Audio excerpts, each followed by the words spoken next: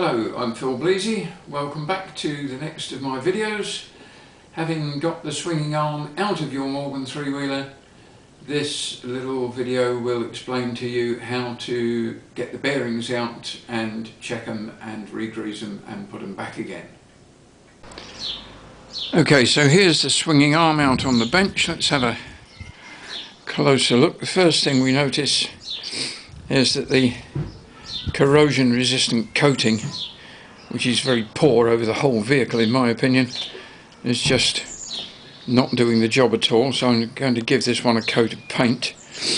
We also noted when the swinging arm was still in the vehicle that one of these plastic plugs was missing.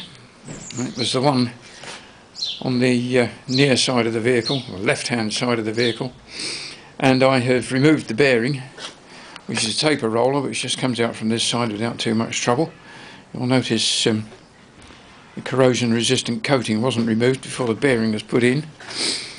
There's the seal which appears to be in quite nice order and the bearing which is looking a bit greasy but not very. It makes me wonder if it ever, ever had any grease in it at all.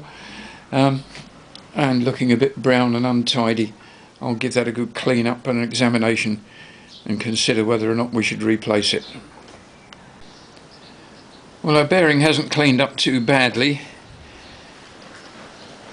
and I've been tempted to look in the other side, the side which did have a cap on it and there appears to be no grease behind that either so I think I'm going to knock that one up and give it a good clean up and check it over and then pack them both or put them both back in and pack them well with grease and then all should be well. And of course a new plastic cap for the one that was missing. You'll recall that the hydraulic pipe to the back brake was in a clip which had to be cut to get the wheel out. And so I've decided I'm going to replace that with a little riv nut in there. Elsewhere on my site you'll find the uh, instructions on how to make and use a little homemade tool for fitting the riv nuts. Little squeeze more.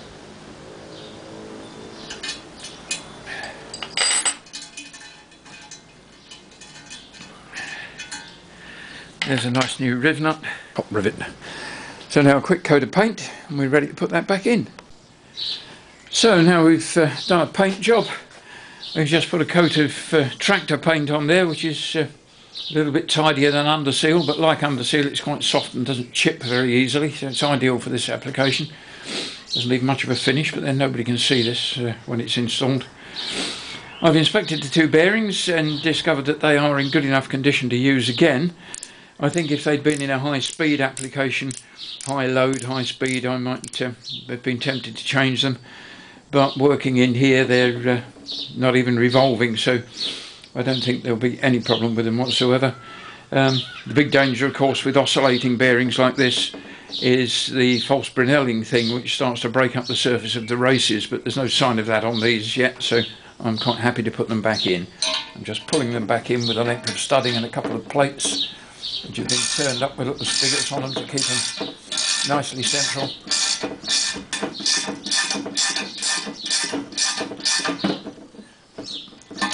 There they are. The outer race is now pulled all the way back in.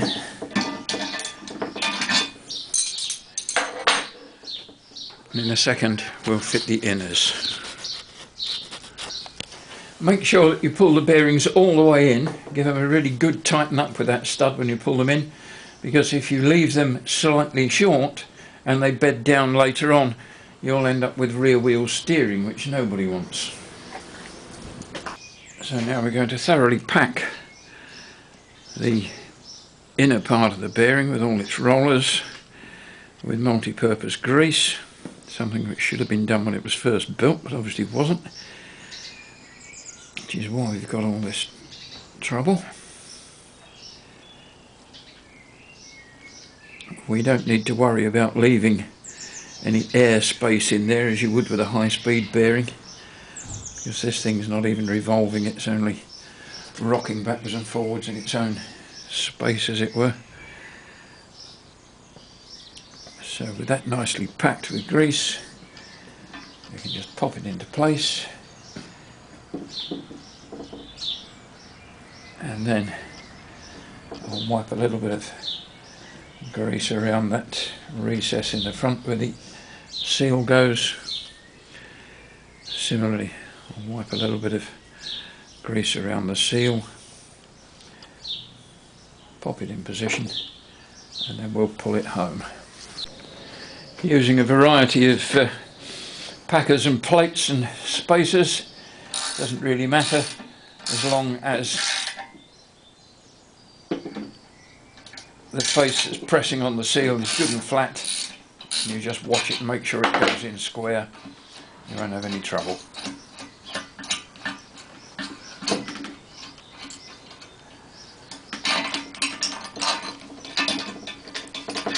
There we are, that side's ready to go back into the vehicle. Not forgetting of course just to put a little bit of grease on the inside of that seal just to make sure it doesn't catch up and get damaged when we put the shaft back into it. Now I'm going to do the other side.